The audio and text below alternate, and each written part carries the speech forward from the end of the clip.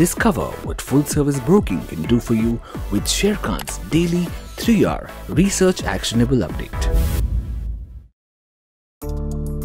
Hello everyone, welcome back to exciting 3R Actionable Stock Updates. 3R basically means right sector, right quality, and right valuation. These are our investment ideas.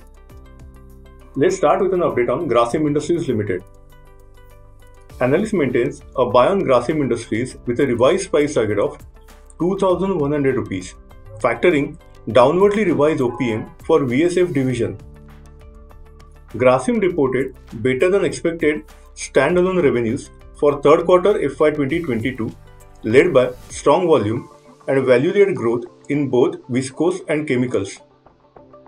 OPM lagged on account of weak VSF margins due to unprecedented rise in input costs, overall leading to lower than expected standalone net profit.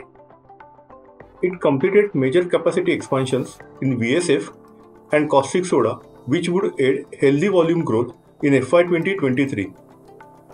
Strong textile demand, along with its backward integration, would support margins in wake on increased cost structure.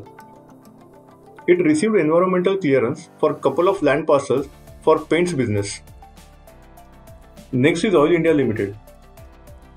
Analyst maintains buy on Oil India with a revised price target of 290 rupees as earnings outlook for its core E&P business have turned positive with recent sharp recovery in Brent oil price more than $90 per barrel and expectation of steep upward revision in domestic gas price in FY 2023. Moreover, NRL to create long term value for Oil India given GRM recovery, excise duty benefit, and 3x refinery capacity expansion plan. The stock is available at attractive valuation of 4x FY 2024 estimated EPS, including earnings contribution from NRL.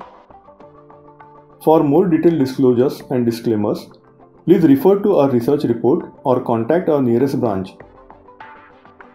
Please read the risk disclosure documents issued by SEBI and relevant exchanges and terms and conditions on sharekhan.com before investing. Tune in again tomorrow for a new podcast on Sharekhan's 3R Research Actionable Update. Click on the subscribe button and never miss another update from Sharekhan. Investment in securities market are subject to market risks. Read all the related documents carefully before investing.